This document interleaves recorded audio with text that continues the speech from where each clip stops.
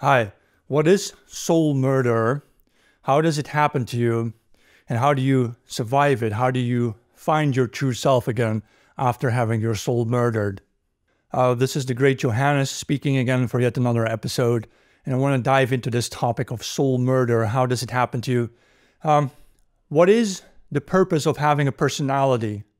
And When you are born, perhaps, I, I don't believe in the blank slate theory. So I do think that human beings are born with some kind of a personality, but it's not a fully fledged personality.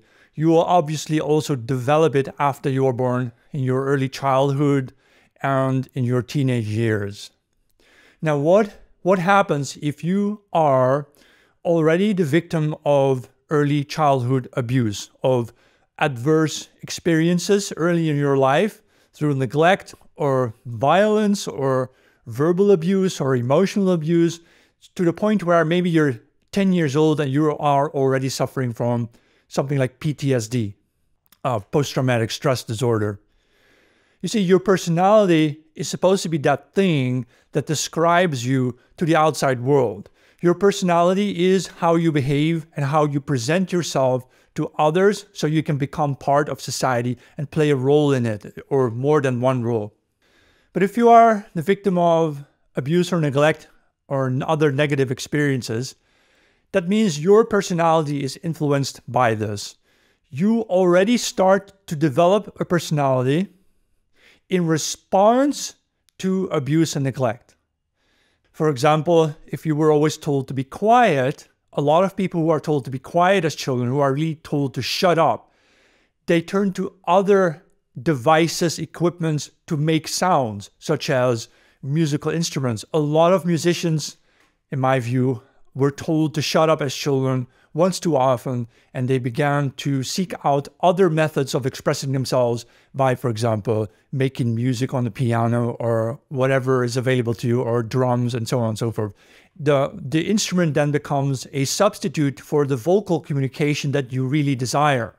But none of this yet amounts to soul murder. Soul murder is when you have developed a personality in, in response to abuse and neglect, and then by the time you are 16, 17, or 18 years old or so, and then you are told that this person you have become, you are not allowed to be.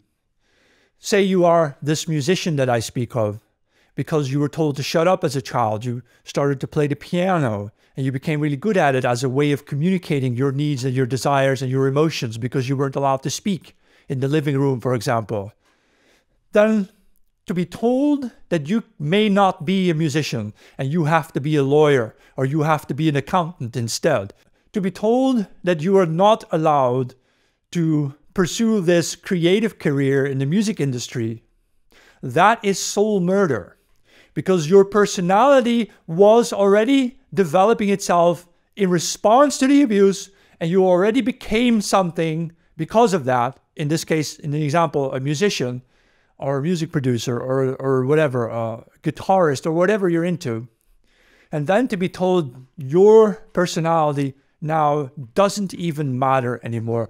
Your personality needs to be made subservient to a higher plan. For example, you are supposed to become the family's lawyer, or you are supposed to uh, uh, take over the farm, or you are supposed to uh, do whatever, or do accounting or whatnot, or go to university and study there and make your family proud. You are told to kill off your uh, blossoming personality, the one thing that you were going to use to present yourself to the outside world, how you became, how you already, in fact, as a teenager, as a teenager, started to become known that is soul murder.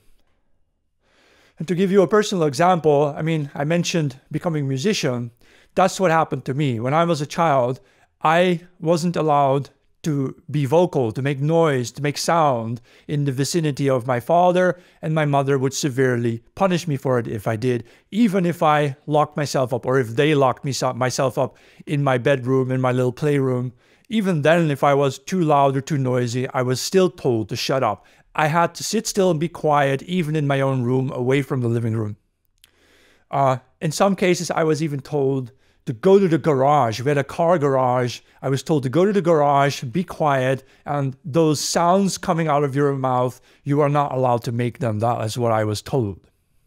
Surprise, surprise.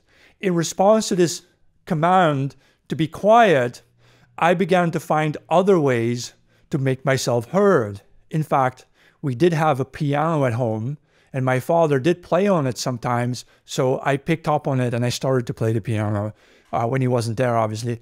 We also had this primitive plastic keyboard, a synthesizer, very primitive, like a toy, a toy synthesizer, and I I taught myself to play music on it. I taught myself Für Elise, for example, this classic piano piece. Uh, I taught myself by listening to the notes and trying to find which ones they were because I couldn't read uh, music notation yet. By the time I was 14 years, I was always I was always intrigued by the old recording equipment that we had in our house, a very primitive microphone and a cassette tape recorder. I would record my voice on it and the keyboard and try to make music that way in my room or in the garage or above the garage, away from the living room. Uh, by the time I was 14 years old, we had this PC computer with MS DOS on it. We didn't even have Microsoft Windows yet, but I started to make music on it. I found this tool, a, a software program that allowed you to make beats and uh, do a sort of pattern tracking, like make a little playlist as we do nowadays on uh, modern software. Uh, it was extremely primitive. I sampled my CDs and cassette tapes to get the sounds that I needed, like a bass or a hi hat or a drum, or a, or a, I even looped tiny bits of synthesizer sounds from other people that I found on their records and then I could like I could loop them around and then I could actually turn that into a playable sound so I could play melodies on the computer that way. It was all ludicrously primitive, but I must have made close to 100 tracks as a teenager. No one cared, of course. My parents certainly didn't care. But I did start to send out demo tapes. I sent out a demo tape to this production company, to another one, and to another one. At first, it wasn't good enough. But then by the time I got uh, by the time I was 18 years old, so after four or five years of, you know, humbly learning to produce music, I got some of my tracks played in local clubs. To me, this was all very exciting. And by the time I was 17, I thought that I wanted to study something in the music industry. My point is this as a teenager, in response to my command of having to be quiet and silent, I had begun to develop a musical personality as the alternative way of communicating myself.